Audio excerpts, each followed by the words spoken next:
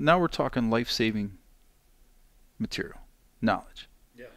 Like, you might need to know this to save your life. What we're doing has value in people's lives. Pressure is what makes people better. In that case, let's have some fun. It's gonna be a great year for everybody. Everybody who wants it to be. People who are gonna watch this are gonna be like, Ooh, look at how nice it is. It looks nice. I Have no idea that it's uh, freezing balls. I think it was like nine degrees or something. How was the flight? It was good. I'm optimistic that we're gonna have between 20 and 30 law enforcement Oh, on Sunday. that's the thing. Oh, you mean tasers fail? Tasers fail? I've never seen any videos of them failing. exactly. There's never been any video of guys like rolling out of them or Hmm. fighting through Fortunately, everybody respects the police so much nowadays that nobody would put hands on a cop. Nobody's gonna fight the police. Yeah. That's just true. It's a you know it's an unprecedented level Hmm. of respect for the for the police. Well, and since, since the courts and everybody are on the cop side, if if if it should get out of hand, at least we know that the police will never get in trouble for what they do because they're the good guys. Yes. Yeah, you're not gonna end up on national news or anything. Yeah. You know, so basically moved to a handcuffing position using a Kimura, and then took the, and then realized this is a toy gun. And I was like, bro, what is wrong with you? You know what I mean? Right. But a different officer, different training background, probably would have smoked that guy.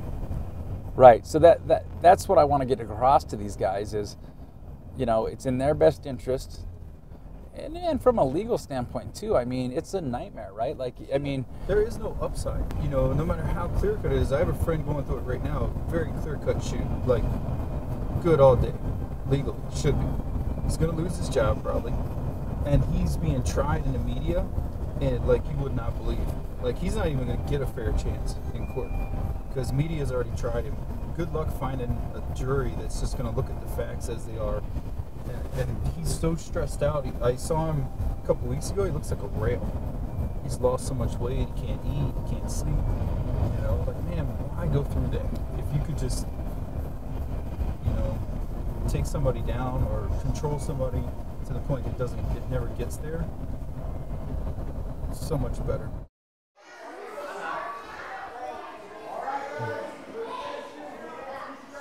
oh, no way.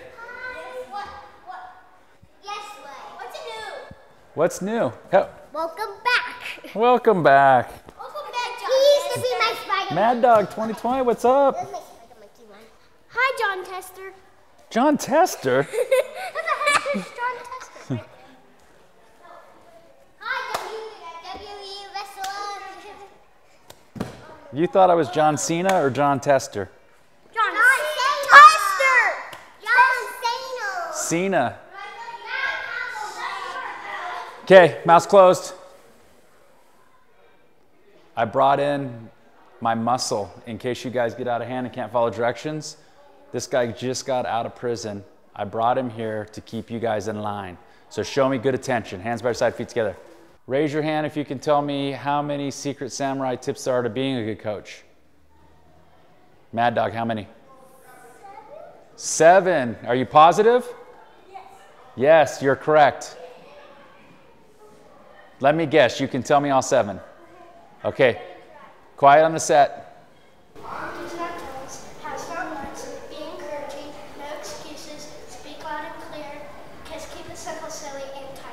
Oh, she aced it. Give her a big round of applause, guys. Mine too, okay? Because we're gonna Sparty like it's 1999, or in this case, 2019. Okay? Maddox, you want you want some action? Get out here. I'm gonna even let you pick. Just ignore Coach Leah. She's just here trying to learn some of my tricks. Woo, you want that? All right, right down there with Coach Rode. All right, I need two more. Hadley, I'm ready to see you get down.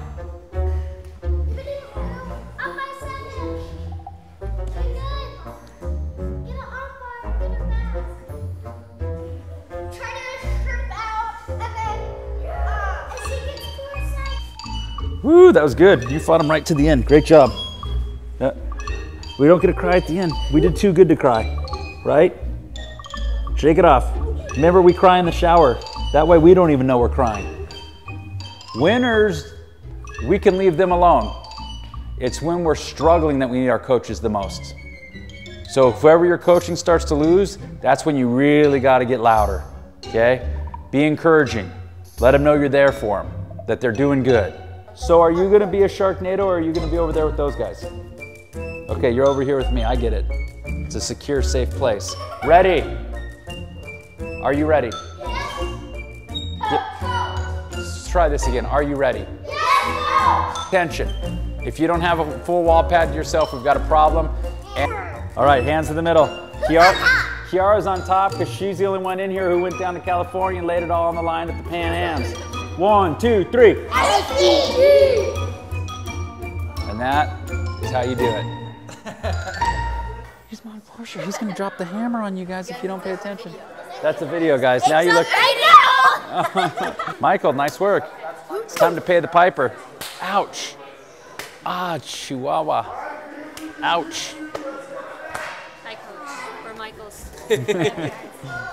I'm Travis. Nice to meet you, Michael's grandparents. To congratulate Michael for getting his belt and uh, to show him the, the hard work and persistence that we helped him gain by being his uh, teammates. Correct. Celebration of what Michael's accomplished, and then a chance for Michael to thank you guys for the role that you guys played in his success, right? Because nobody gets good at jujitsu by themselves. It takes training partners, coaches, and a place to do it, right? Oh, jeez. She's putting the trick moves out there. Give him a round of applause, guys. Come on.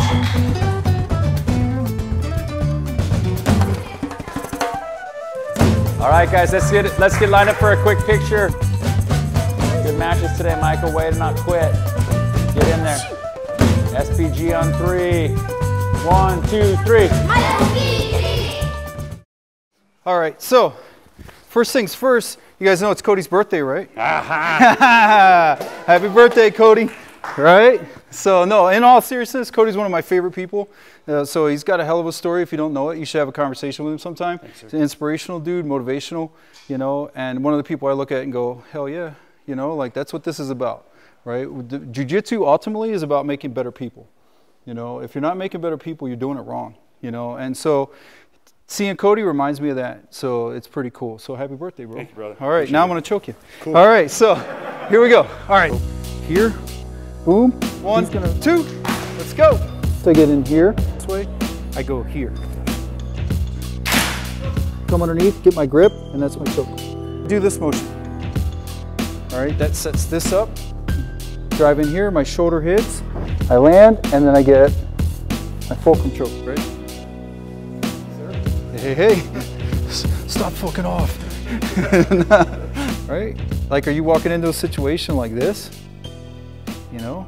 Are you walking into a situation with a tool in your hand? Are you walking into a situation going, well, let's see how this evolves? So, I'm just saying, long term, man, we can make a change with jujitsu. I think there's only one place to start, and that's to say thanks for doing 20 years on the streets, which, from an outside perspective, having spent zero days in law enforcement, seems to be one of the most thankless jobs on the face of the planet. Yeah, So, thank you, man. th- yeah, thank you for doing that. It's uh, I've visited Chicago and the surrounding areas, but I have been there on brief, you know, in one day, out two days later. But it's hard to avoid the uh, the headlines and the news that always surrounds the Chicago area. So I, Yeah. I hope at some point we can talk about your firsthand experience there, because all I have is what I see on the news, so I inherently distrust it Sure. because I can't figure out whether or not it's boots on the ground truth or Right. not. And these guys would come like during their shift, and we would train. I would train them, you know, hand to hand stuff, cuffing stuff, just different ways to approach and solve the problem. You know, my goal was always to make us as dangerous as possible, so we'd be as safe as possible. And it and the standard issue police tactic stuff, we all know, isn't the best, you know. And so it's check the box type stuff, and a lot of times it's tough to watch from an outside perspective. Your guys' procedures, obviously, and a lot of stuff were different than ours. But at some point, you have to put your hands on people Right. Subject control. Subject control. Now that I understand how little you have to understand and know to be a very, very big problem. Yeah. Yeah. Right. Looking back at it now, but I see. I mean, you know, we all have access to YouTube, you know, and Sure. you can see some horrendous stuff and people dying who maybe shouldn't die, or it, most of the time it's the officer getting in what I would say into a situation that's over their head because they're out of tools. Too great of a deficit. Well, they just I, I see. Yeah. I look at it from the perspective of your tool belt. If all you have is taser, gun, you're going to rapidly go through A to B to C if you Mhm. don't have that buffer of being comfortable Yeah. knowing how to handle yourself. What you were saying exactly. today at the end of the seminar actually really resonated with me, and it was the impact that jujitsu had on your policing. Yeah. And uh, I definitely wanted to get into that because I'm assuming you two met through jujitsu. Yeah. Straight SBG. Gym, yeah. Straight blast. He got Matt dropped Thornton. on my head a bunch of times. He So- got dropped on your head. He head. got dropped on my head. So, so that's a whole other thing. That's a whole other thing. Like, Yeah. Other John, than John yeah, Kavanagh talks about all the time, like he wants to train for what happens most of the time. What you're most likely to encounter, not what you're least likely to encounter. What are the chances that you're going to have two guns simultaneously held on you? Ever? Yeah. What are the chances that? I mean, you guys are the exceptions, right? But a guy, sure but a, but a guy Paul like has had a gun held to his head. right. But, I told But- you I did research on it. I got but, stories. but this is my point, though. But you guys are the exception. Like you guys are the one percent. But a guy like me, I will never have a gun held to my body. Most Yeah. likely, chances of that are slim to none. Yeah. Why would I prepare for something that's least likely to happen? Why not prepare for the stuff that is most likely to happen? the like- drunk dude at the bar. Yeah, or The yeah. or wearing a seatbelt, or a heart attack, or the things that will actually kill me. Right? Like these overweight dudes in camo pants, It's with operator clip-on nights, man. smoking Yeah. cigarettes, Right. talking about terrorism. They're gonna die of a heart attack. They really are. Yeah. That's Right? A, that's I a mean- a good real point, issue. yeah. Like how how interested in self defense are they? Yeah. Because they clearly don't care about themselves. If they did, they wouldn't be smoking. They wouldn't be fat. And carrying knives on the outside of your clothes. Yeah. just don't that's buy it. It's thing. just insincere. Talking about as you develop the capacity to be able to use those things, you're I find that you're least likely to use them. Yeah. Because you're like, you know, I'm good. I don't want any part of this because you have nothing to prove. Eh, That's what it Right. was. You were talking about how you feel when you know that you can actually handle yourself. Yeah. It's like I don't want to get in the fight in the bar. Yeah, you don't have to prove anything. Yeah. You, know, you have nothing to prove. So you can walk in there and just, you know, some guy, you know, oh man, if you didn't have that badge, you didn't have that gun, like, okay, I'd probably be worse. You know what I mean? Because then there's no rules. You know, if I'm Yeah. without a badge and a gun, I got no rules on me, dude. I'll wreck you. But you know, you, when you're in those situations, you carry yourself. It's just that confidence that you have from being in the in the gym, constantly working against resistance, constantly being in miserable positions and realizing I can get out of them. You know, and um, it, it it puts you, it gets you in a place mentally where you feel indomitable. Yeah. You know, and and Yeah, I, I agree with that. yeah, and so you carry yourself in such a way that's not blatantly like, "Try me, bro," you know, but you but you do carry yourself in a different way, and I think the problem, not the problem, but kind of the the challenge or dilemma for most people in jujitsu is they're constantly around other jujitsu people, so they really don't recognize it, and then also the issue is, you know, we're rolling with each other constantly. I, want to touch on one thing that you were just saying because it is so important. I find myself saying it all the time to my guys and girls. But they're going with trained people Yeah. every day. And so oftentimes they're frustrated. They're like, I'm not that good at this. But it's like, No, the person you're rolling with is just better at it. do you remember Yeah. what it was like when you're a blue belt and a new guy comes in and you're like, perfect. Yes, exactly. It's, Yeah.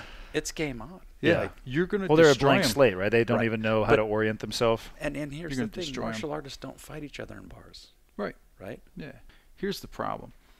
You have, and no disrespect to anybody, you know, in the business, but you have a 40-hour wonder. So you have a guy who doesn't train jujitsu, never trained jujitsu. They send him to this school. He does 40 hours at this school. Then he goes back. Now he's the expert, and he's going to train everybody. I in think we know a guy who did this program, maybe. We're going to send these guys back to this jujitsu We do. we're going to send this guy back to this law enforcement agency and now he's an instructor He's not even a white belt in my gym. They would get wrecked.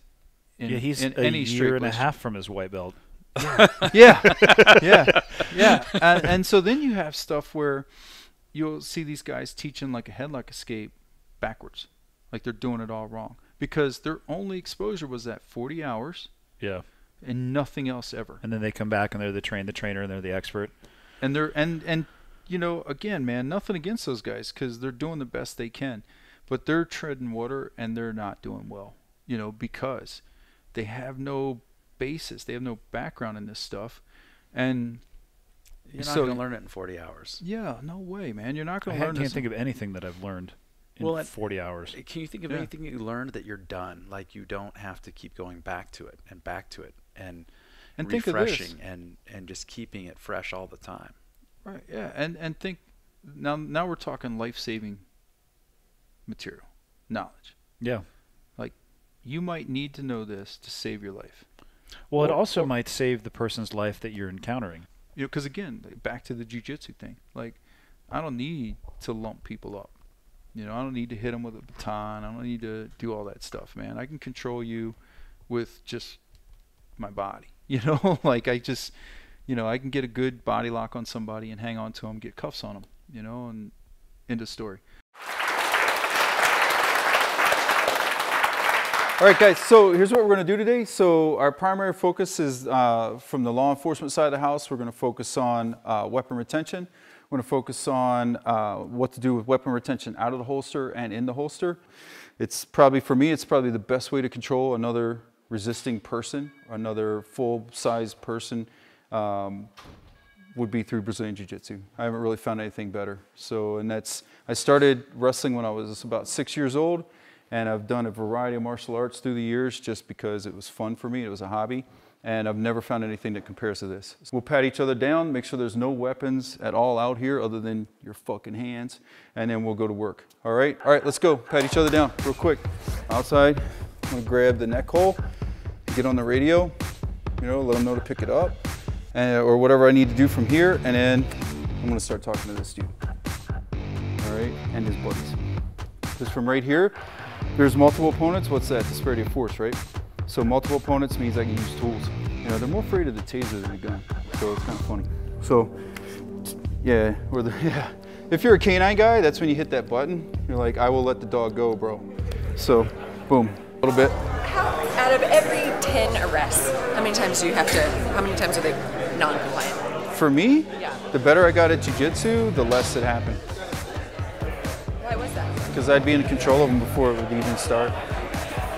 You know, and they could tell. Yeah, they could tell. I'd be just like, all right, bro, we gotta go. And I'd never let go of them. The problem is, guys will do this. Hey, we gotta go.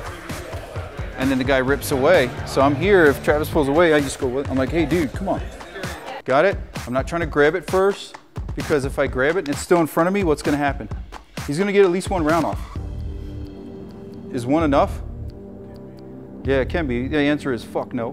But one could be enough, right? If it hits me, if it punches me, center punches me in the aorta, then I'm gonna have a problem. You know, it's gonna be a wild 90 second ride. So if all of my practice is this cool shit, which looks really cool, and then I tap rack, and then I smoke them with a gun. First off, yeah, right, yeah. I went like, to that school. yeah, yeah. And first off, have you guys ever taken a gun off a bad guy and it's got like nine mil rounds in there, 380, maybe a 22 or two thrown in, right? I'm. So do you really want to trust your life to that, or would you rather just get that muzzle offline and then smoke them with your own? So that's what we're going to work on. So guns here doesn't matter which side I go to. Okay, I'm not worried about any of this stuff. I'm worried about this control. All right, I want complete control of this gun. I want to lock it up, drive my hand underneath it here, and keep control and not let him have it back. Okay, so we'll get into. I prefer, my disarm is a broken arm, so I prefer to just wreck their shoulder, break their arm. Anybody else want to volunteer? Yeah, yeah, right. yeah, right. Yeah, exactly. Right. I go through training partners like crazy. I don't know what's up, but because the thing is, we're already at lethal. So why am I worried about anything else? All right. So if I go to the inside, I'm going to go here, and I'm going to hug this in here. All right, and I'm not letting that go. I'm to drive in here, and then I'm to smoke them. Same thing from the outside. Lock it up here. I'm gonna drive this in here, pin it to his body. If I can, I'm gonna get my hand on it here, pin it right here, and then that's my that's my rounds. Okay? All right, so let's work on that now. So as soon as that gun's in on your chest, I just want you to avert it and get control. Right? Avert, get control, and I want you to drop your body onto the back of that arm. And by drop, I mean just place your body weight on it. Don't do a WWE move, right? I'm just putting my body weight on it because what that does is that keeps his arm straight and off of me. The muzzle's going everywhere else. Then I've got all kinds of takedowns. If you're training your jujitsu or your judo, I got all that stuff happening here. Okay? And people are always like, well, what if they get a round off? Yeah, I'm just like, if you want to be a firefighter, it's cool to be a firefighter, right? Like, point of all that is train jujitsu. Like, seriously, train jujitsu. Like, get in, man. I mean, this place is open to you guys. It's uh, multiple classes. It's cop friendly. Uh, we were just talking about that. Like, I don't have anybody in my gym, and it's not just because I'm they know I run it, but I don't have anybody in my gym that's criminal. You know, um, maybe guys that did stupid stuff when they were kids. Our focus is on making better communities and making ourselves safer, our community safer, and giving back. So that's that's kind of my thing on that. So when you, you train with one of our gyms, that's what you're gonna run into. It's a cooler environment. So, and you'll get to do this stuff every day. Nothing, you know, gets council members more motivated than moms writing letters about their sons and daughters that are officers that they're concerned for their safety. As culturally, we gotta kind of change LE. You know, we gotta change law enforcement, get them into training and make it a lifestyle. Man, well, I appreciate you guys coming out. I, I really do. Um, you guys came out and trained hard. I think everybody worked pretty hard. And uh, a lot of you guys already trained, you know, I can tell, so that's good.